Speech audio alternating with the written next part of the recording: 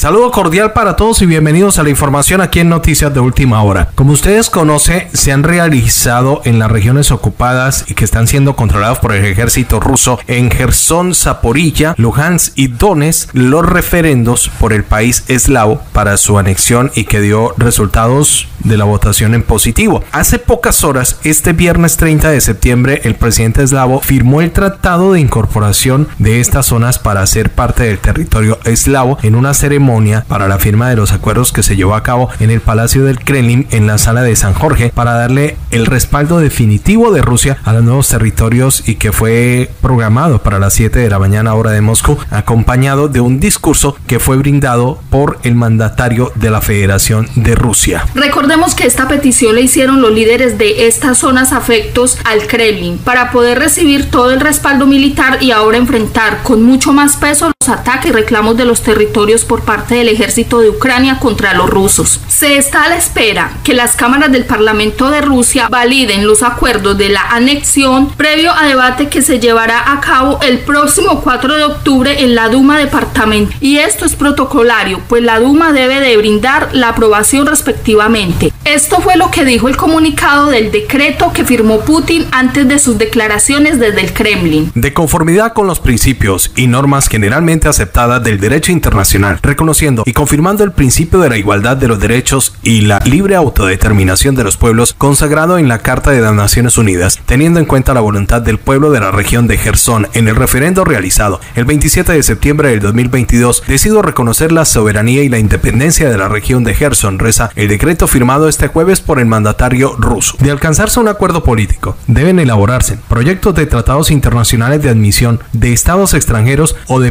de ellos a Rusia. Estos documentos regulan cuestiones como el nombre y el estatus de los nuevos territorios, la ciudadanía, la sucesión, el funcionamiento de los órganos públicos, la vigencia de la legislación, entre otros. Es decir, amigos, luego que se ha hecho efectivo la adhesión, según varios corresponsales rusos, aducen que el Kremlin ya podría recurrir a todos los medios para defender estos territorios, incluso utilizar armas nucleares de disuasión si Occidente sigue apoyando militarmente a Ucrania. El Occidente colectivo crea nuevos problemas, nuevas crisis. Siguiendo sus objetivos, nuestros adversarios geopolíticos, nuestros opositores, como dijimos hace poco, están dispuestos a exponer a un golpe a cualquiera, a cualquier país, convertirlo en el epicentro de una crisis, provocar una revolución de color y desatar una masacre sangrienta. El presidente ucraniano Volodymyr Zelensky advierte de las consecuencias. Todo el mundo entiende bien lo que significaría realmente un intento de anexión de este tipo. No lo que el Kremlin espera. Pero para detener esto tendrán que detener al presidente ruso en Rusia, que prefiere la guerra por encima de la vida de los ciudadanos rusos.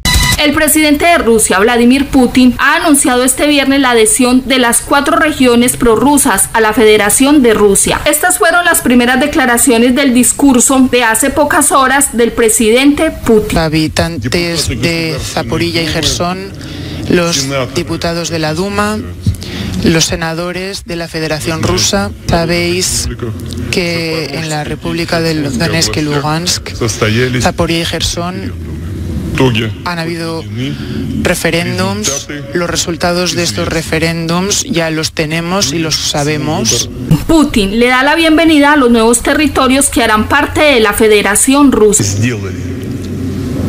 Las personas han hecho han elegido. Es una elección clara. Hoy aceptamos la entrada en Rusia de la República de Donetsk y Lugansk, Gerson y Zaporilla. Y también dice que la Duma cree que aceptará estas cuatro regiones como parte del territorio eslavo.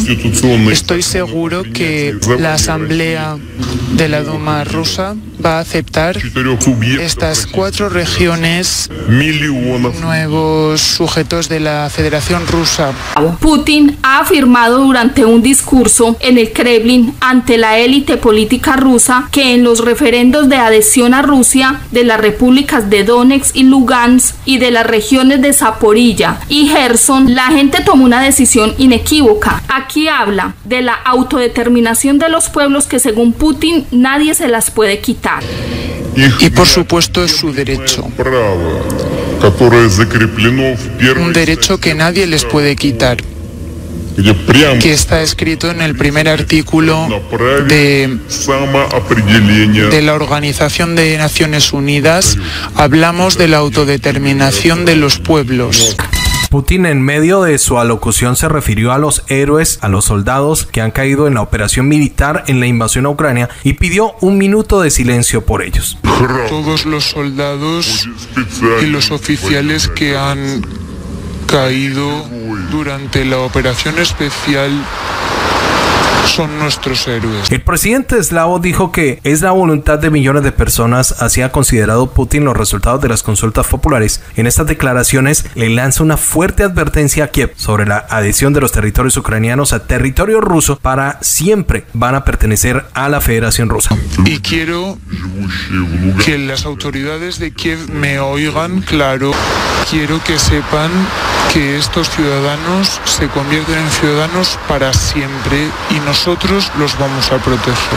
Escuchen ustedes mismos. Ahora, Putin dejó en claro que la elección de estos pueblos para adherirse no tiene vuelta de hoja, pero sí le dijo al gobierno de Ucrania que se sienten a negociar. De llamar todas, de, de acabar con todas las acciones militares con las que han empezado la guerra ya desde 2014 y que vuelven a la, a la mesa de discusiones. Vuelve y repite Putin, no se pueden negociar los resultados de los referendos y la adhesión de estas zonas controladas ahora que hacen parte de la Federación de Rusia.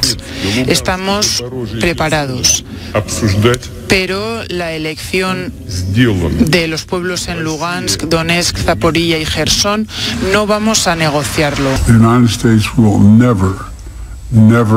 Estados Unidos nunca, nunca, nunca reconocerá las reclamaciones de Rusia sobre el territorio soberano de Ucrania. Este supuesto referéndum fue una farsa y una absoluta farsa. Los resultados fueron fabricados en Moscú. Putin recordó que en 1991 las élites decidieron disolver la antigua Unión de las Repúblicas Socialistas Soviéticas sin consultar la voluntad de los ciudadanos, lo cual se convirtió en un desastre nacional. Según el jefe de Estado, los últimos dirigentes de la URSS arruinaron el país y pusieron al pueblo ante el hecho consumado. De acuerdo con el jefe del Estado ruso, tras la caída de la Unión Soviética, las personas fueron arrancadas de su patria y ahora han elegido volver a su patria. Sin embargo, Putin ha asegurado que su país no aspira a restaurar la Unión Soviética, a pesar de la ofensiva en Ucrania y la anexión de cuatro regiones ucranianas tras referendos denunciados por Kiev y los países occidentales. El mandatario eslavo habló por qué están en pie de lucha con sus soldados y las intenciones de destrucción de Rusia por parte de Occidente. Occidente pensaba que Rusia no iba a remontar tras el fin de la Unión Soviética y que iba a destruirse ella misma.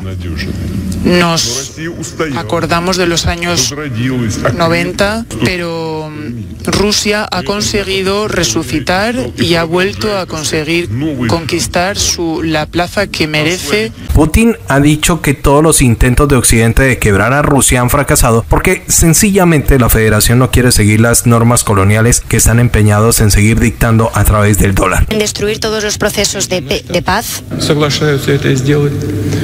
Hay muchos países en los que los líderes de estos países están de acuerdo y por lo tanto se convierten en los vasallos y otros por la fuerza se convierten en vasallos de Occidente.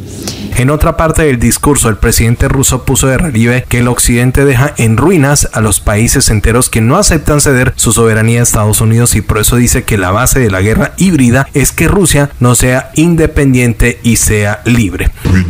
La base de esta guerra híbrida que Occidente está teniendo contra Rusia no quiere eh, que Rusia sea independiente y libre. En otro de los apartes, Putin dice que los países occidentales aspiran a mantener su papel hegemónico en el mundo, por lo que están tratando de debilitar y desintegrar a Rusia, convertirla en su colonia, cobrarle su renta, igual que actúan con otros países, aseveró Putin. En pocas palabras, según el mandatario, quieren desde el norte convertirse en los amos de los rusos. No quieren nuestros nuestras asociaciones, nuestros acuerdos quieren ser y convertirse en nuestros amos y dirigentes.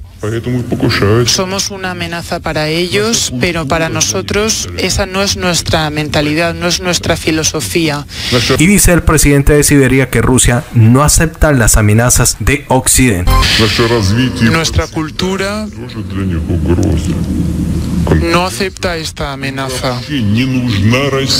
Nuestro desarrollo también es una amenaza para ellos no necesitan a Rusia, pero nosotros necesitamos a Rusia, nuestra Rusia tal y como la concebimos nosotros. Putin ironizó sobre las promesas de no expansión de la OTAN y dijo que ellos mismos han roto todos los acuerdos, aduciendo que ellos respetan todos los acuerdos internacionales. ¿Quién, quién las ha creado? Son mentiras. Hay doble estándar, incluso triple estándar y solamente se dirigen hacia la gente estúpida. Además dejó en claro que Occidente es el que ha creado las reglas internacionales y que todo es una mentira. Afirma que Rusia tiene una gran civilización que no quiere seguir las leyes impuestas por el norte. Rusia tiene una gran civilización y no quieres vivir según estas leyes. Putin ha lanzado dardos en su alocución sobre quién le ha dado al norte el poder de decidir, quién puede ser autónomo o quién no, en referencia a los pueblos adheridos a Rusia. Que ha hecho resbalar el principio de la seguridad de las fronteras y ahora ellos determinan quién tiene el derecho de, de autodeterminarse y quién no, quién ¿Quién les ha dado el derecho a Occidente a, a, decidir esto? Putin dice que Occidente no puede hablar de democracia cuando no acepta la voluntad popular de los pueblos adheridos a la federación.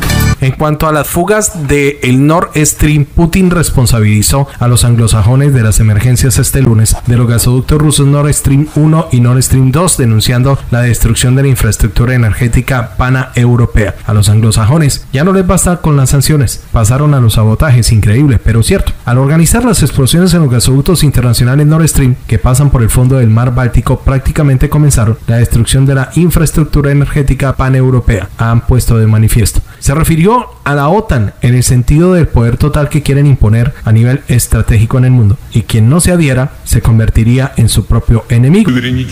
Y todos los países que intentan tener su propia soberanía estratégica automáticamente se convierten en, en sus enemigos.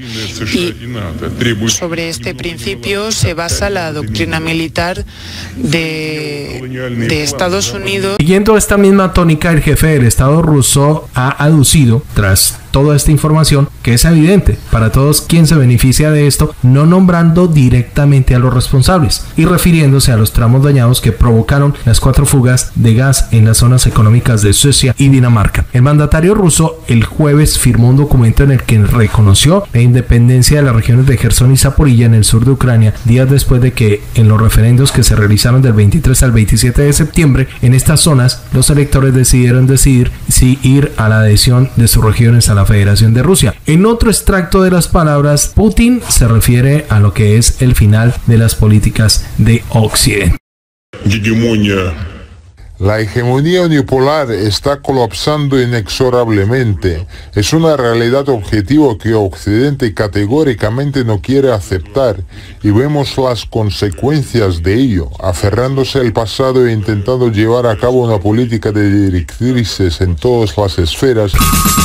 Y mucha atención a lo que se viene porque es candela, señores, el anuncio que hace pocas horas está realizando Ucrania. ¿De qué se trata? El presidente de Ucrania, Vladimir Zelensky, ha anunciado este viernes la firma de la solicitud para la adhesión acelerada de su país a la OTAN. Esto dijo Zelensky. Estamos dando nuestro paso definitivo al firmar la solicitud de Ucrania para el ingreso en la OTAN por la vía acelerada, declaró. También aseguró, de facto, ya hemos pasado por por nuestro camino hacia la OTAN. De facto, ya hemos demostrado la compatibilidad con los estándares de la Alianza del Atlántico Norte. Ми довіряємо один одному. Ми допомагаємо один одному. і ми захищаємо один одного, це і є альянс. son reales para Ucrania, reales en el campo de batalla y en todos los aspectos de nuestra interacción, expresó Zelensky. Де-факто, сьогодні Україна подає заявку, щоб зробити це де юре, за процедурою, яка відповідатиме нашому значенню для захисту всієї нашої спільноти у пришвидшеному порядку. indicando que en esta jornada el país entrega su solicitud para hacerlo de jure. El procedimiento formal pretende responder a la importancia, según Ucrania, de proteger a la comunidad. Esto ha destacado el mandatario. Por parte del jefe de la OTAN, dice que Rusia ya no es nuestro socio, sino una amenaza para la seguridad, paz y estabilidad. Esto lo habría dicho en una ocasión el director del organismo militar.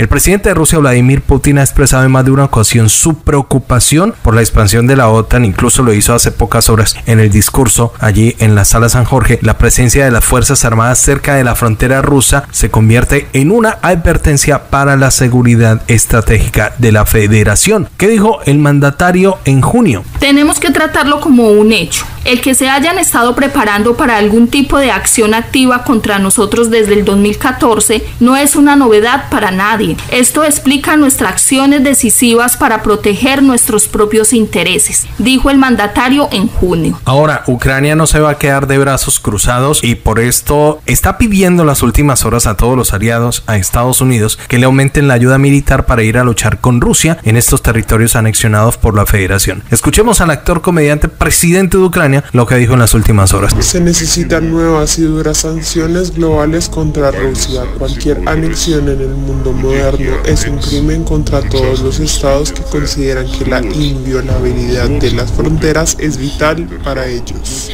Asimismo, el presidente de Ucrania pidió a la Unión Europea, a la OTAN, a los aliados a que aumenten las sanciones contra Rusia y así como están las cosas, Rusia luego de la anexión estaría controlando casi un 20% de todo el territorio ucraniano y con las nuevas zonas Rusia pues logra un puente terrestre con la península de Crimea que se anexionó en el 2014 casi en un proceso similar de referendos con lo que está pasando ahora. Del lado de los países sancionadores, la Unión Europea ha anunciado que no reconoce y que nunca reconocerá el resultado falsificado de los referendos señalándolos como ilegales por parte de Rusia. Además que pidió a todos los países vecinos pronunciarse en la misma línea que lo ha hecho el bloque. Escuchemos lo que dijo la presidenta de la Comisión, Ursula von der Leyen.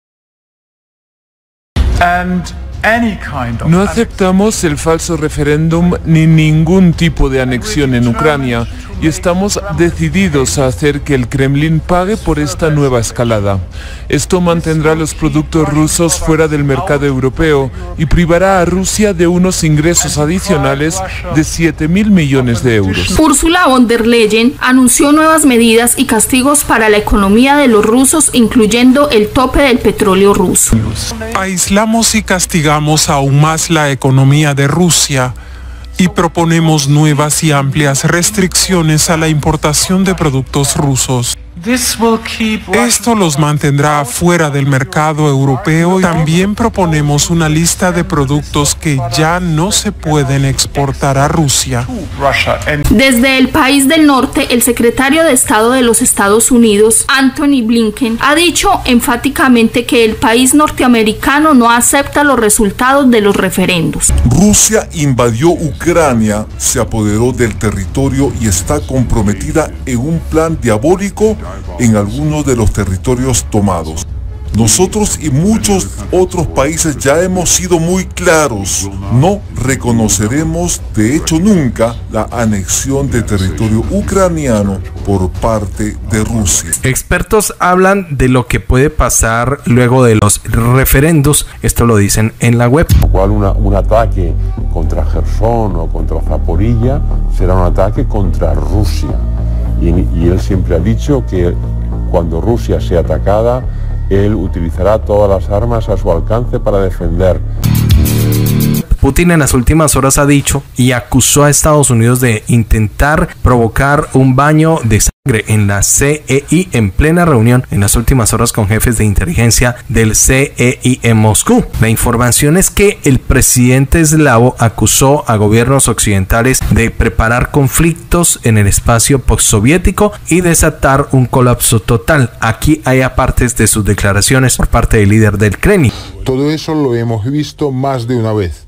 En Occidente se elaboran escenarios de incitación a nuevos conflictos en el espacio de la comunidad de estados independientes, pero ya hay bastantes. Es suficiente ver lo que está pasando ahora entre Rusia y Ucrania. Además, el mandatario ha señalado que basta con mirar lo que está sucediendo ahora entre Rusia y Ucrania, lo que está sucediendo en la frontera de algunos otros países de la CEI. Todo esto es el resultado del colapso de la Unión Soviética. Además, alertó que los riesgos de desestabilización siguen creciendo en toda la región de Asia Pacífico. Citamos algunas de las palabras del mandatario. La hegemonía unipolar se derrumba inexorablemente. Esta es una realidad objetiva que Occidente se niega categóricamente a soportar, ha señalado el líder ruso, para luego añadir que las fronteras de la organización requieren una mayor atención, ya que es en ese frente donde se concentran muchas amenazas de seguridad comunes que, de no detenerse, afectarán negativamente a los países miembros. Escuchen sus declaraciones.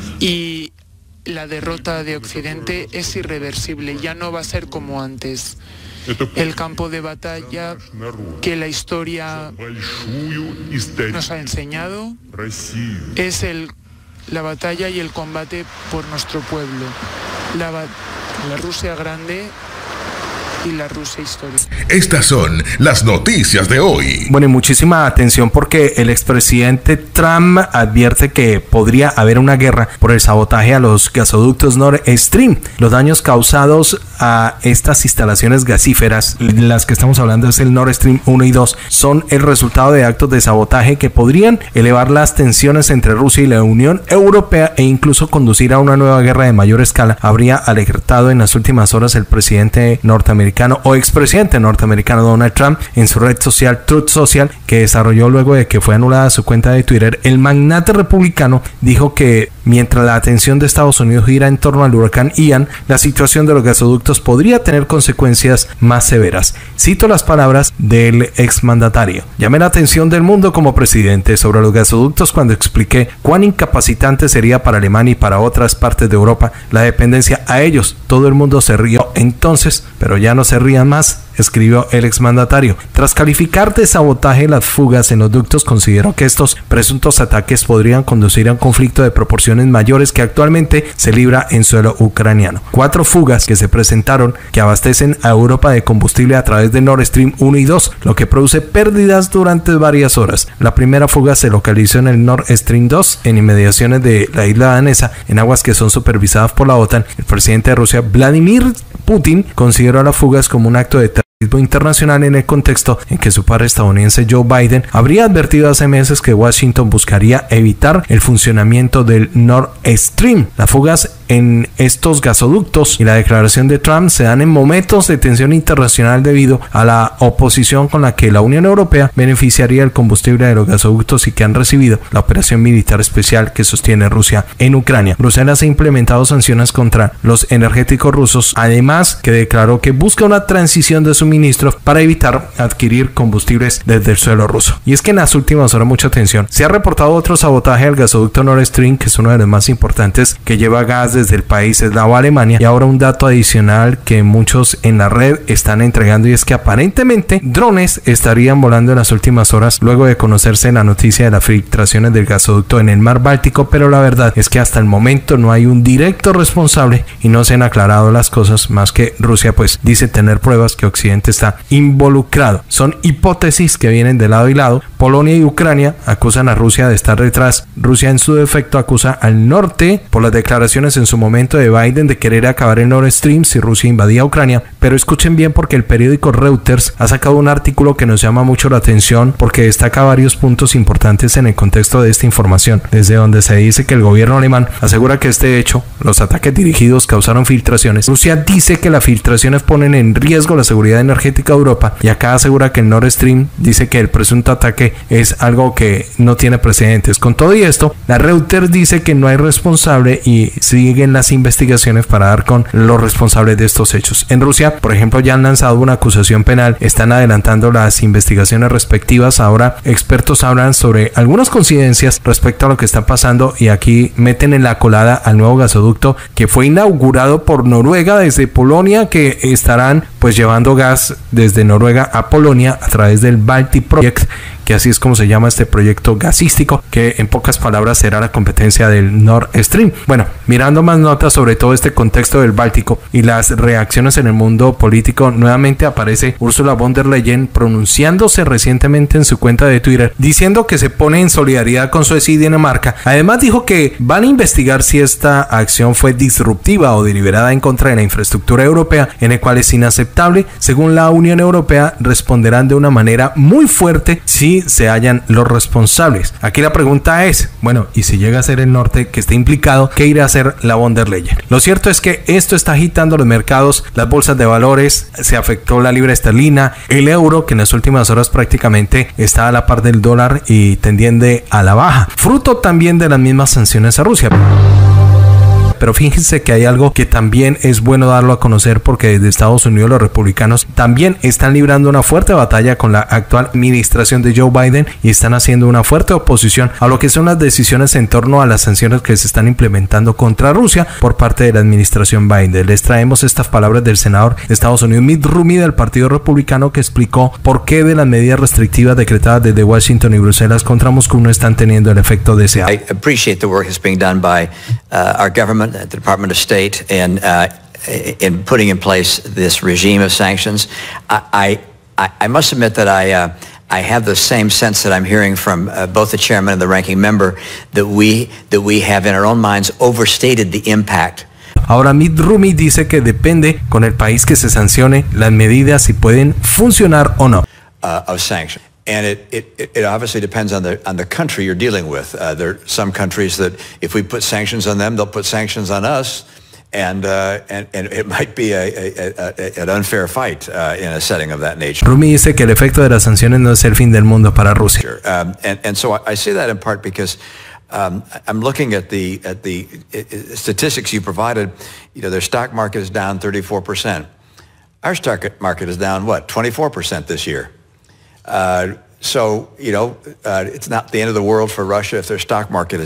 El senador norteamericano dice que querer aislar a Rusia de la tecnología no lo va a parar porque simplemente los rusos van a conseguir donde tienen aliados muy fuertes como China para poder acceder a este tipo de tecnologías. Uh, by 2030, their economy will be 20% smaller. Um, by 2030. That's a long way out. And in global markets, uh, if we cut off access to certain technologies that Russia would want to purchase, they can find ways around it. Uh, and particularly if their friends are China and India, Y muchísima atención, esto es una noticia de última hora, creemos que es relevante y tiene que ver también con los gasoductos. El Servicio de Inteligencia Exterior de Rusia confirma que tiene evidencias de que los países occidentales están detrás de los sabotajes de Nord Stream 1 y 2. ¿Cuál es el comunicado? Mucha atención. Dicen desde Rusia que ya tienen algunos materiales que apuntan a la huella occidental en la organización e implementación de este acto terrorista, ha dicho este viernes el director del Servicio de Inteligencia de Rusia, Sergei Nariskin, en una comparecencia de prensa. En este sentido, aseveró que Occidente está tomando todas las medidas para ocultar los ejecutores y organizadores que realizaron los actos de terrorismo internacional al respecto. Ha declarado que el gobierno de Rusia llevará a cabo la investigación en relación a la explosión de los gasoductos. Recordemos que esto fue el 26 de septiembre en el Nord Stream 1 y 2 en las aguas danesas del mar Báltico cerca de las islas Bourbon en Dinamarca y se informó pues luego que habrían sufrido pues estas filtraciones debido a este sabotaje y que ahora ya no son dos, sino cuatro filtraciones que se han visto en los tramos de este gasoducto en los sitios mencionados. Dejamos hasta acá, muy amables y muchísimas gracias a ustedes por la audiencia. Nos escuchamos en el próximo contenido. Dios los bendiga a todos ustedes y un abrazo.